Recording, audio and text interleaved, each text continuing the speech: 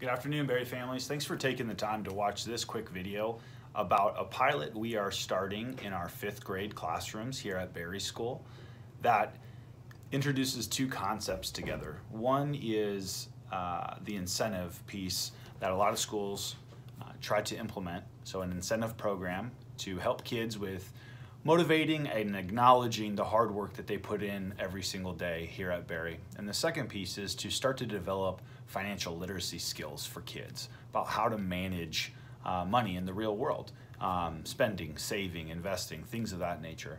So we are in the infancy stage of trying this out with our fifth graders and to get student feedback and learn from what goes well and what's not going well because ultimately we would love to try to roll something like this out building wide. So we want to start, start small, learn a lot, reflect, and grow for the future. The reason why I'm, I'm putting out a message today is your student should have brought home a piece of paper today with access codes on it.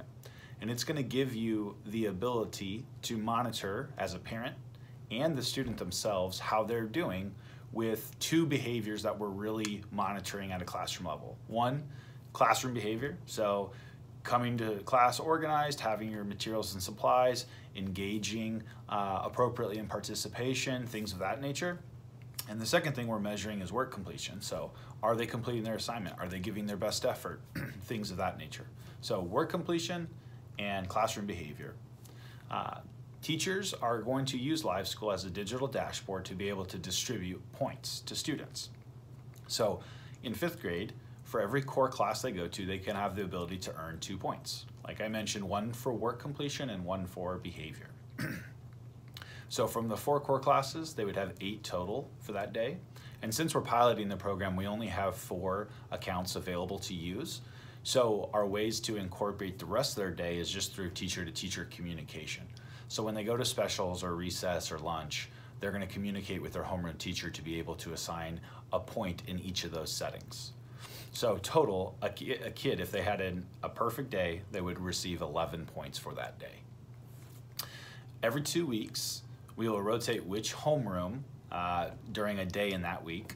Uh, so Monday, Tuesday, Wednesday, Thursday would be a different homeroom, and they would have the opportunity to spend their points on both tangible items in our school store or on experiences as well. So some experiences might be extra time at recess. Uh, it might be lunch with a former teacher. Uh, the kids are currently working with their teachers to develop experiences that they would appreciate and would like to use their points on.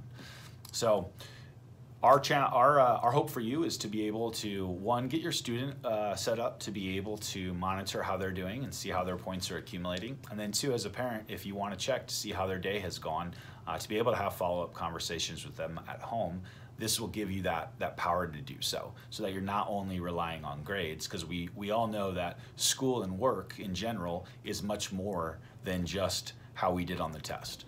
It's about developing the whole person. So this will give you an insight as well.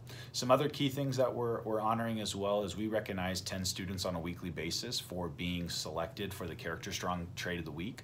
And so we'd like to add points for that as well too. So if your student has uh, is selected from this point on, you'll see those points accumulating.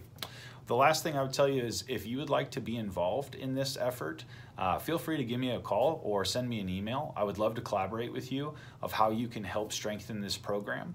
Uh, we know that raising our kids, both educationally and as human beings, is a team effort between the school and the home front.